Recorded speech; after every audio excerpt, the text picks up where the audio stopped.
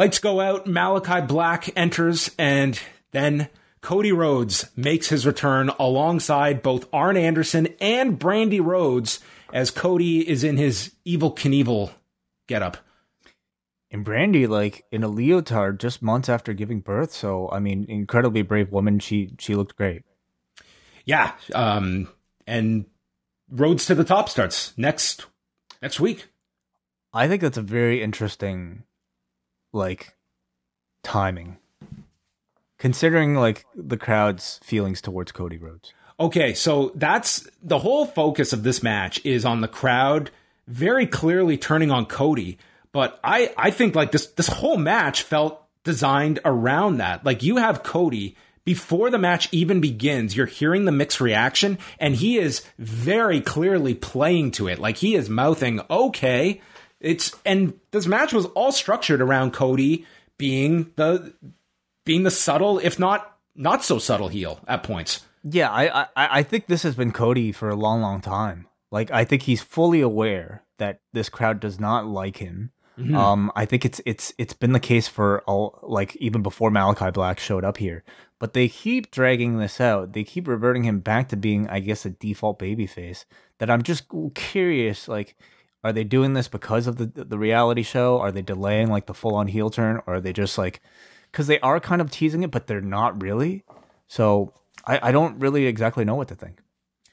So it it begins and Black sends Cody out of rolling out of the ring and he does his backflip and just sits down and they like it's a total babyface spot and the crowd reacts in kind and you can just see what is being constructed here. Brandi comes in to sit in front of Black and give the big fuck you as Cody jumps him. And this just gives the crowd like open season, like boo this man and they played off of this. Cody comes off the top into a flying knee. They battle through the break. Cody takes a black mass, still nameless, and rolls to the ground, and he's selling like he is out cold.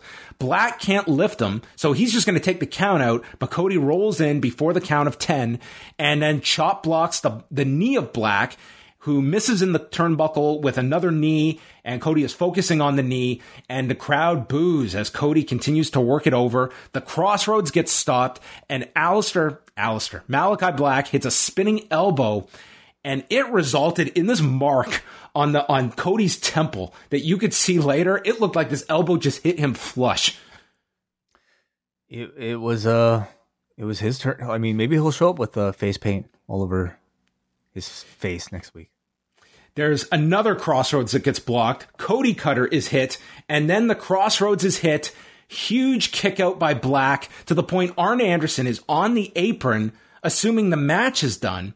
Arn then goes to climb around the post and he slips off the apron to the floor, causing referee Paul Turner to be distracted.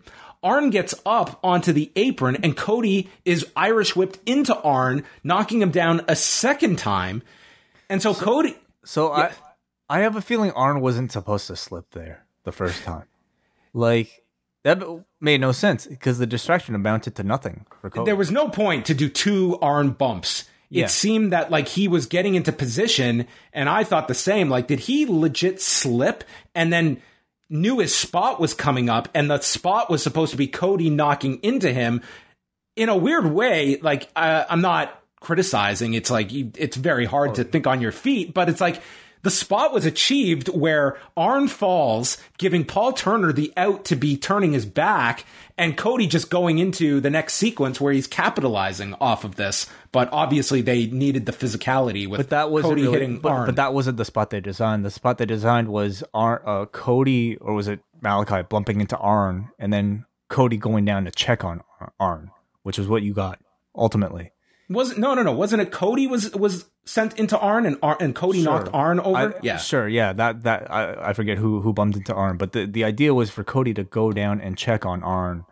To and then Arn just like attention. swats him away. He's like, "Fuck off." Well, he was like, "Go back to the match. Don't check on me." Um, but I mean, seeing the guy fall twice, of course I would have. Ch- I would have checked on him too. Uh, Arn, you you you've taken more bumps tonight than you have in the last decade. Holy shit! But I I don't think he was supposed to fall that first time. I don't think so either, because uh, it made no sense for him to fall twice. Uh, so Cody is told, don't worry about me. He starts attacking Malakai and then nails Paul Turner, sending him away. And Black sprays black mist into the face of Cody and uses an inside cradle for the win, which is a real clever way if they're trying to keep Malakai Black as this heel, although I think you're just fighting against the tide at this point. And this crowd was so happy to see Cody lose uh, that they didn't care that Malakai Black had to resort to Black Mist. I'm feeling like they're they're not really trying to like get people to boo Malakai Black. I think they're just going with this because they know he's cool. As long as as long as people like him enough to want to stick around to watch his matches, I don't think Tony Khan cares that much.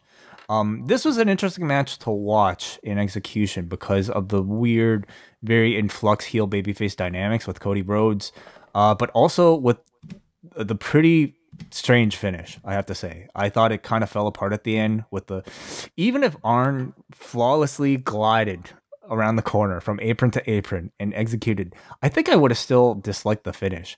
I hate Malakai Black going from a win as dominant as his first match with Cody in like a minute or two minutes to now having to resort to using mist and an Arn Anderson distraction in order to justifiably beat Cody Rhodes. That I I wasn't a fan of. I think they've been booking Malakai Black incredibly strong up until this point, and I thought this should have also needed this also needed to be a, a dominant win, um, at least more dominant than maybe Mist would would entail.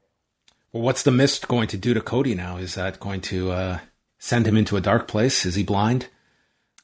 It'll turn him into stardust. Ooh. Into space.